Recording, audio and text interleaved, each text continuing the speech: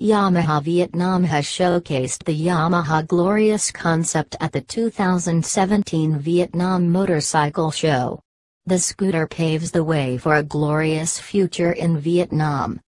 Inspired by high-end musical instruments the Yamaha Glorious LED headlamp and taillamp pay tribute to the rich legacy of Yamaha's music division.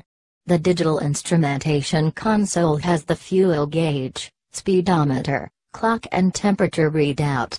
The screen also has a Bluetooth logo which might mean that the scooter can be connected to a smartphone and can read out messages. The handlebar in the Yamaha Glorious just gets a starter button and a horn switch. The scooter gets petal disc brake in the front. The rear has been given a unique new look making it stand out from the crowd. The powertrain is expected to be the 155cc mill from the Yamaha NVX 155. The VVA mill is capable of producing 15 PS of maximum power at 8,000 revolutions per minute and 13.8 newton meters of peak torque at 6,250 revolutions per minute.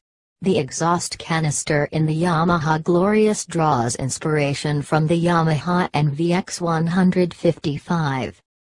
The Yamaha Glorious has been designed with inputs from Yamaha Japan, but its production plans have not been released.